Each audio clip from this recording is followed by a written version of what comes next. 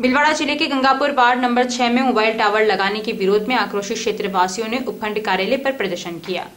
उन्होंने उपखंड अधिकारी को मोबाइल टावर नहीं लगाने को लेकर ज्ञापन भी सौंपा। करीब आधे घंटे तक चले घटनाक्रम में महिलाओं द्वारा मोबाइल टावर लगाने की हालत में आत्महत्या करने तक की चेतावनी डाली नगर पालिका अधिशासी अधिकारी ने फ़ोन पर एनओसी खारिज करते हुए मोबाइल टावर नहीं लगाने के आश्वासन के बाद महिलाएँ शांत हुई। इससे पूर्व महिलाओं ने उपखंड अधिकारी विकास पंचोली को भी ज्ञापन देकर रिहायशी इलाके में मोबाइल टावर नहीं लगाने की मांग की। महिलाओं का तर्क था कि मोबाइल टावर लगने के बाद रेडिएशन के कारण उनके स्वास्थ्य पर दुष्प्रभाव पड़ेगा।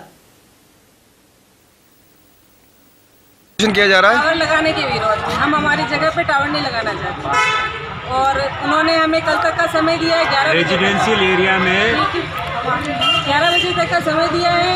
ग्यारह बजे से पहले आज की तारीख तक कोई भी आता है तो उसके जिम्मेदार प्रशासन नगर पालिका और टावर लगाने वाला होगा। उसके जिम्मेदार हम नहीं होंगे खून खराबा होगा उसके सब जिम्मेदार ये लोग होंगे